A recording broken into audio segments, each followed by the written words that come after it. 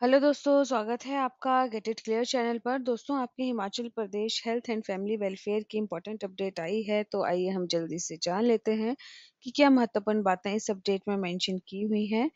देखो दोस्तों, यहाँ पर इनकी तरफ़ से एक ऑफ़िस ऑर्डर आया है, जिसमें मेंशन किया हुआ है कि यहाँ पर आपके जो कुछ स्टाफ नर्सेज हैं, जो अपना दो साल का जो कॉन्ट्रेक्चुअल पीरियड है, उसको पूरा कर चुकी हैं तो उनको यहाँ पर रेगुलर किया जाता है। ठीक है गाइस?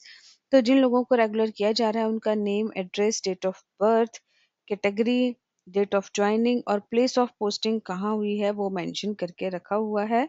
तो काइंडली आप यहाँ से चेकआउट कर सकते हैं। दोस्तों, जो इनके ऑर्डर्स हैं, वो इनकी ऑफिशियल वेबसाइट पर भी रहेंगे, जिन्होंने मेंशन कर दी है। आप वहाँ से भी इसको देख सकते हैं।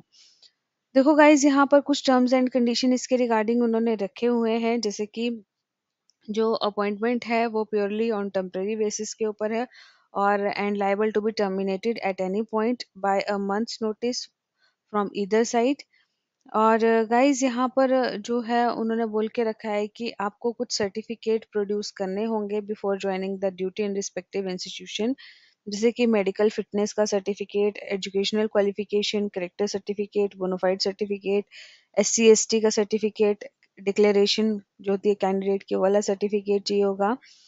और गाइज़ यहाँ पर आपको जो है, वो आपको कोई टी ए डी ए नहीं मिलेगा ड्यूटी को ज्वाइन करने का। एंड गाइस जो भी आपके टर्म्स एंड कंडीशन है, आपने भी इनको अच्छे तरीके से रीड कर लेना है एक बार ड्यूटी को ज्वाइन करने से पहले कि आपको कौन कौन से सर्टिफिकेट जो हैं, वो प्रोड्यूस करने होंगे।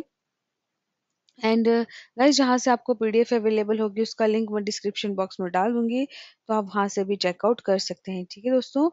तो गाइज़ अगर आपको वीडियो अच्छा और हेल्पफुल लगा हो तो गेट इट क्लियर चैनल को लाइक कीजिए शेयर कीजिए एंड सब्सक्राइब कीजिए। Thank you have a good day and all the best